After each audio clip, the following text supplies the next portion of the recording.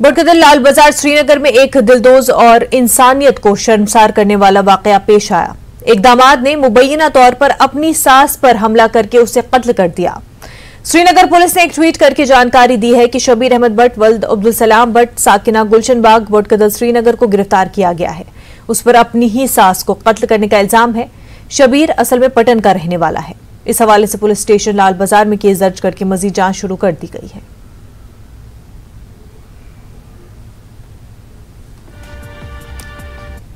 श्रीनगर के नुमाइश ग्राउंड में दो नौजवानों पर चाकू से हमला करने के इल्ज़ाम में तीन अफराद को गिरफ़्तार किया गया। श्रीनगर पुलिस के मुताबिक सरायबाला से ताल्लुक रखने वाला तीन अफराद को गिरफ़्तार कर लिया गया। पुलिस के मुताबिक इस जुर्म को अंजाम देने के लिए इस्तेमाल किए गए तीन चाकू भी बरामद किए गए हैं। गिरफ़्तार अफराद में हमाद खान, वल्द मरहूम जावेद अहमद, बाजल खान, वल्द मरहूम जावेद अहमद और माजिद खान, वल्द मरहूम मोहम्मद अफजल खान शामिल है। इस हवाले से पुलिस स्टेशन शीरगिरी में केस दर्ज करके मजीद तफ्तीश शुरू कर दी गई है। बादावारी रहनावाड़ी श्रीनगर करीब आवारा कुत्तों को बेदर्दी से मारने पर दो अफराद को गिरफ़्तार किया गया। श्रीनगर में पुलिस के मुताबिक ये वाकया 21 जुलाई को पेश आया था और इस सिलसिले में पुलिस स्टेशन रहनावारी में मुख्तलि दफात के तहत केस दर्ज कर दिया गया है। गिरफ़्तार अफराद में गुजार अहमद बेग, साकिना रहीमिया कॉलोनी, लाल बाज़ार और अदनान शाह साकिना हवल बादाम वारी में शामिल है।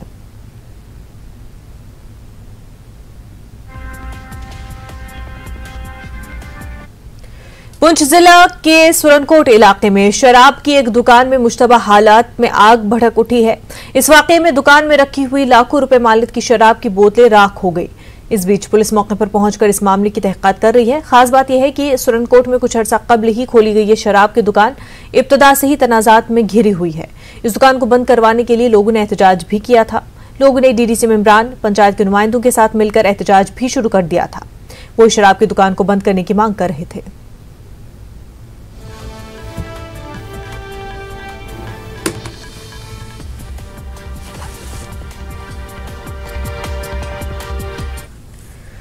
जिला शोपिया में रेनबो स्कूल के करीब पेश आए एक हादसे में एक शख्स की मौत हो गई है। बताया जा रहा है कि महलूक शख्स बाजरी निकाल रहा था कि इस दौरान एक ट्रैक्टर नीचे आ गया और वो उसके नीचे आ गया।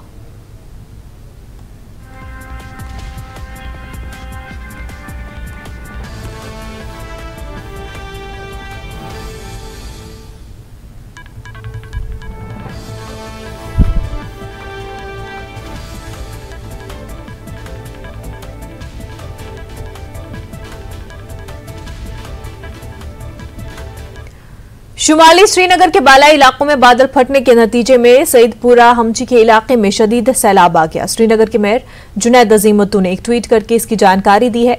इस हवाले से वायरल हुए एक वीडियो में दिखाया गया है कि कुछ मवेशी भी पानी में बह गए हैं।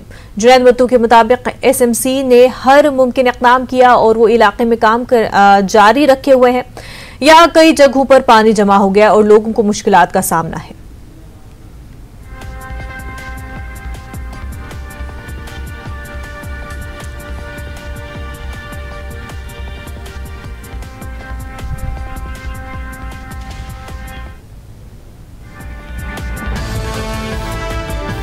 तो आपको बता दें कि जुनैद अजीमतों ने इस हवाले से ट्वीट भी किया है। इस चीज़ का नोटिस लिया गया है। कई इलाकों में श्रीनगर के बालाई इलाकों में बादल फटने से ये हालात पेश आए हैं। शुमाली श्रीनगर के बालाई इलाकों की बात की जा रही है, जहाँ पर बादल फटने के नतीजे में सईदपुरा, हमची के इलाके में शदीद सैलाब आ गया। श्रीनगर के जुनैद अजीम मत्तू ने इस हवाले से ट्वीट भी किया है, जो आप अपने टीवी स्क्रीन पर देख सकते हैं। और उन्होंने इस हवाले से जानकारी दी। एक वीडियो भी इस हवाले से वायरल हुआ है, जिसमें ये देखा गया है कि कुछ मवेशी भी पानी में बह गए हैं। जुनैद मत्तू के मुताबिक एसएमसी ने हर मुमकिन इकदाम किया है और वो इलाके में काम जारी रखे हुए हैं। यहाँ कई जगहों पर पानी जमा हो गया है और लोगों को काफ़ी मुश्किल का सामना है। दो तस्वीरें आप अपने टीवी स्क्रीन पर देख रहे हैं। एक वो जो कि बादल फटने के नतीजे में सईदपुरा हमची इलाके की तस्वीर है, जहाँ पर लोगों को काफ़ी दिक्कतों का सामना है और इस हवाले से मेयर जुनैद अजीम मतू ने ट्वीट भी किया है। वो तस्वीर भी आप अपनी टीवी स्क्रीन पर देख सकते हैं। हमारे नुमाइंदे रईस इस वक्त हमारे साथ जुड़ चुके इस इलाके में इस वक्त की क्या सूरत हाल है रईस, हमें बताएँ। जी हाँ बिल्कुल इस वक्त हम मौजूद है सैदपुरा हमची श्रीनगर में। यहाँ पे आप देख सकते हैं कि पानी जो है वो घरों में घुसा हुआ है, जो पैडी फील्ड्स है उनमें पानी है और लोग यहाँ पे जो है वो काफ़ी परेशान है और उनका ये मानना है कि लगातार यहाँ पे जो है उस पानी की वजह से उनको काफ़ी दिक्कतें हुई है।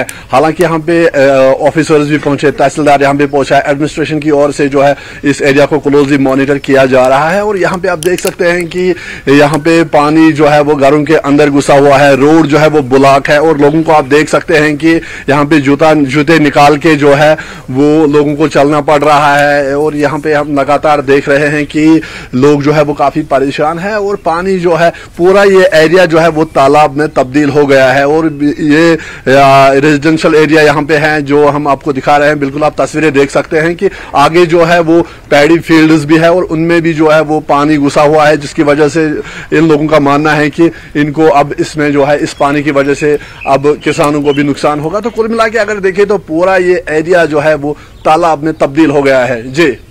रईस जुनैद अजीम मत्तू ने भी इस सूरत हाल का नोटिस लिया है और उन्होंने ट्वीट भी किया है। साथ ही कहा है कि तमाम तर काम जो है म्यूनसिपल की तरफ़ से वो किए जा रहे हैं। जी हाँ बिल्कुल, जिस तरह से उनका टिविट आया था, उन्होंने उसमें साफ़ कहा था कि जो एसएमसी है, वो इसको तमाम वो स्टेप उठा रही है, जो कि तमाम वो मेजर्स उठा रहे हैं, जो इम्पोर्टेंट है, और इसको वो क्लोजली जो है, वो मॉनिटर कर रहे हैं। इसके साथ साथ एडमिनिस्ट्रेशन के भी एस पे जो है, वो नज़र बनी हुई है, और यहाँ पे एला ऑफिसर जो है, वो पहुँच चुके हैं तहसीलदार यहाँ पे आया हुआ था। इससे पहले जो पुलिस के अधिकारी भी यहाँ पे आए हुए थे। तो कुल मिला के अगर हम देखें तो इस एरिया में जो है, वो पानी जब से घुसा है, तब से यहाँ पे काफ़ी प्रॉब्लम हुई है, क्योंकि ये पानी अचानक से आ गया था और जो ये रेजिडेंशियल एरिया है, इसमें अचानक पानी घुस गया था, जिसकी वजह से पैनिक हुआ था और जिस तरह से जब भी कोई इस तरह की नागहानी आफत आती है नेचुरल क्लेमिटी आती है तो उसमें जो है लोगों को रिएक्ट करने का बहुत कम समय मिलता है और यही वजह है कि लोग जो है वो पैनिक कर जाते हैं और ऐसे में एडमिनिस्ट्रेशन जो है वो भी उतनी जल्दी जो है वो अलर्ट नहीं हो पाती, लेकिन यहाँ पे क्लोजली तमाम चीज़ों को मॉनिटर किया जा रहा है और लोगों को जो है वो कहा जा रहा है कि वो घबराने की कोई बात नहीं, पैनिक ना करें। और वही सबसे बड़ी गनीमत जो रही है, अभी किसी बड़े माली या जानी नुकसान की कोई खबर नहीं, इतलात सामने नहीं आई है।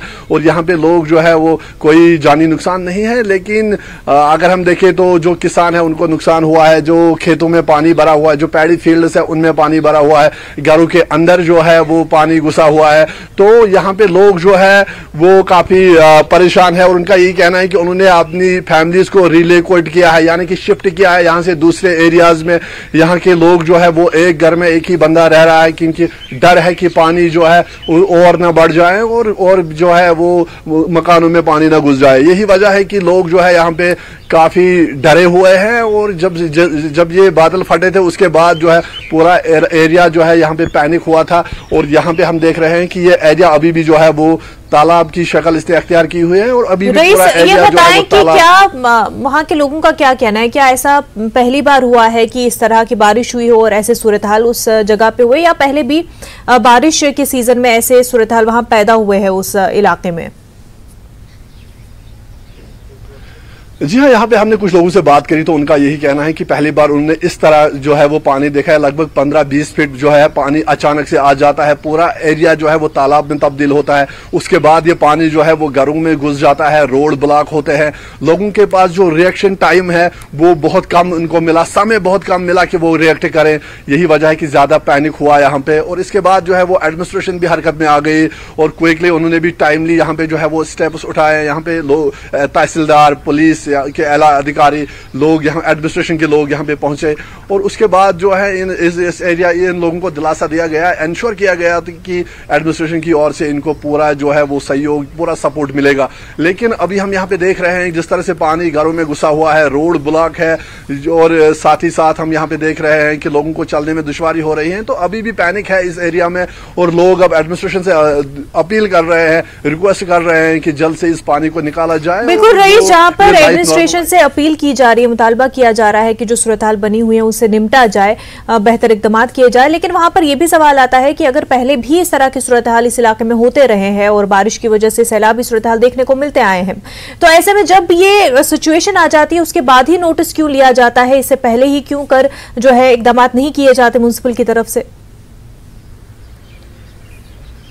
जी हाँ अगर हम देखें तो नेचुरल कलेमिटी नागानी आफत जब भी कहीं पे आती है तो उसमें जो रिएक्शन टाइम है वो बहुत कम होता है। और यहाँ पे इससे पहले भी हमने देखा है कि जो अपर रीचेस है, वहाँ पे ये नॉर्थ श्रीनगर के अपर रीचेस में जो है, ये बादल फटे हैं। उसके बाद ये नीचे का इलाका है। जो ही बादल फटे, उसके बाद जो है, पानी जो है, वो यहाँ पे आ गया। और रिएक्शन टाइम जो था, वो बहुत कम था। इसीलिए जो एडमिनिस्ट्रेशन है, उन्होंने भी कहा है कि वो भी पूरी तरह से इसको क्लोजली मॉनिटर कर रहे हैं। पूरा उनका सहयोग रहेगा सपोर्ट रहेगा। लेकिन जब भी नेचुरल क्लेमिटी आती है तो ऐसे में जो है रिएक्शन जो रिएक्ट करने का टाइम है वो बहुत कम होता है। हालाँकि यहाँ पे जो एडमिनिस्ट्रेशन है वो पूरी तरह से सतर्क है। इनको आश्वासन दिया गया है एश्योर किया जा रहा है कि इनको हर तरह की जो है वो आ, सपोर्ट की जाएगी। इसके साथ साथ जो श्रीनगर के मेयर है जुनेद आज़म मत्तू उन्होंने भी कहा है कि श्रीनगर म्यूनसिपल कॉरपोरेशन जो है वो हर वो स्टेप उठा रही है जो इम्पोर्टेंट है। और इसके साथ साथ यहाँ पे जो है इस तरह के जो रेस्क्यू के काम है वो जारी रहेंगे। और आस आसपास हमने देखा जो आसपास के एरिया के लोग हैं, वो भी यहाँ पे रेस्क्यू के लिए आए हैं और पूरी तरह से इस एरिया में अभी भी जो है वो पैनिक है। एरिया जो है वो तालाब की शक्ल अख्तियार कर गया है। पूरा एरिया तालाब बना हुआ है, लेकिन उसके साथ साथ जो एडमिनिस्ट्रेशन है उन्होंने आश्वासन दिया है, उन्होंने लोगों को एश्योर किया है कि हर मुमकिन जो है उनके लिए जो है हर वो स्टेप उठाया जाएगा, जो इम्पोर्टेंट है, जिससे उनके जानी और माली नुकसान को कम से कम किया जा सके। जी। बिल्कुल एश्योरेंस दी जा रही है लोगों को कि इकदाम किए जाएँगे, पर ये उम्मीद की जाती है कि आगे फिर जब मौसम बेहतर होता है, उस वक्त भी जो है तमाम मरम्मत के काम किए जाए, जो भी ज़रूरी इकदाम है वो किए जाए, ताकि आने वाले फिर जब भी बारिश हो या इस तरह के हालात हो, तब लोगों को इतनी दिक्कतों का सामना न करना पड़े। रईस, आपका बेहद शुक्रिया तमाम फिर जानकारी के लिए। ब्रेक के बाद आपका खैर मकदम है। कुपवाड़ा ज़िले में तेज बारिशों और बादल फटने की वजह से कई इलाके में सैलाबी सूरतहाल पैदा हो गए हैं। तफसलात के मुताबिक कुपवाड़ा के तरमनाड हाईहामा, कलारूस समोरी शालगुन ढिलोलाब में निसफ दर्जन गाड़ियाँ मलबे के नीचे दब गई हैं। कलारूस की खातून फिसलने की वजह से करकाब हो गई और उसकी मौत हो गई। उधर तबाही के मनाजिर के बायस डिप्टी कमिश्नर कुपाडा आयुषी सुदान ने अफसरान की टीम के हमरा मुतासर इलाकों का दौरा किया। दौरे के दौरान डिप्टी कमिश्नर ने मुतासर इलाकों का जायजा लिया। डिप्टी कमिश्नर ने अफसरान को हिदायत दी कि वो नुकसान का तखमीना लगाए। उन्होंने लोगों को तलकीन की कि वो बारिशों के पेश नज़र पहाड़ी इलाकों में अपनी नकल हरकत को महदूद रखें ताकि इंसानी जानों का जिया न हो। डिप्टी कमिश्नर आयुषी सुदान ने एक हुक्मनामे के तहत अफसरान को हिदायत दी कि वो बगैर इजाज़त जिला सदर मकाम न निकले। उन्होंने अफसरान की हिदायत की कि वो बारिशों के पेश नज़र अपने आप को आवाम के लिए दस्तियाब रखें। सुबह यहाँ पे कुछ क्लाउड बर्स्ट की वजह से कहीं कहीं पे कुछ डैमेज हुआ है स्पेशली ब्लॉक हायामा में और कलारूस में। तो वहाँ पर टीम्स अभी मौजूद हैं जो रेस्टोरेशन एफर्ट्स हैं या इवैक्यूएशन एफर्ट्स हैं, वो ऑलरेडी ऑन गोइंग है एक डैमेज असेसमेंट भी कर कर ली जाएगी soon and then thereafter जो नेक्स्ट कोर्स ऑफ़ एक्शन हम ले लेंगे। जिला कुलगाम के पहाड़ी सब डिवीज़न नूराबाद के इलाकों में कल शाम बादल फटने और मुसलसल बारिशों की वजह से रिहायशी मकान सरकारी इमारतों और बागात में खड़ी फ़सलों को काफ़ी नुकसान पहुँचा है। ताहम इन इलाकों से किसी भी जानी नुकसान की कोई इतला नहीं है, जबकि जिला कुलगाम इंतजामिया और पुलिस की टीमों ने मुतासर इलाकों में रेस्क्यू ऑपरेशन, बाजाबाद कार्य और रिलीफ के ज़रिए लोगों को राहत पहुँचाने का काम किया। कोरेल, मंजगाम जाच्छा अमुला के बी, पूरा, वटू, मंजगाम और दीगर इलाकों में सैलाबी सूरत हाल पैदा हो गई। Additional DC Waqar SDM Bashirul Hasan D Mohammad Imran Khan और मुतलका पुलिस अफसरान ने कल ही मुतासर इलाकों में सूरत हाल का जायजा लिया। सिपुरनाज कॉलोनी श्रीनगर में बारिश से सैलाबी सूरत हाल पैदा हो गई है। मकामी लोगों ने बताया कि इलाके में एक नाला बहता है, जिस पर कई लोगों ने गैर कानूनी कब्जा किया हुआ है और नाले से निकासी नहीं हो रही है, जिसके नतीजे में इसका पूरा पानी बस्ती के अंदर दाखिल हो जाता है। ऐसी सूरत हाल के चलते मकामी लोगों को काफ़ी दिक्कतों का सामना है। इस मसले को हल करने की हुकूमत से मांग की गई है।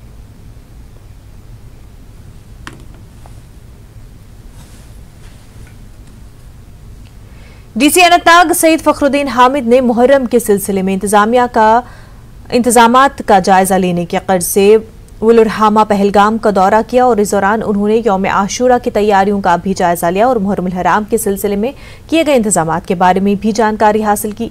इस दौरान डीसी ने कई अवामी वफूद से मुलाकात की और उन्हें दरपेश मुख्तलि मसाइल के बारे में आगही हासिल की।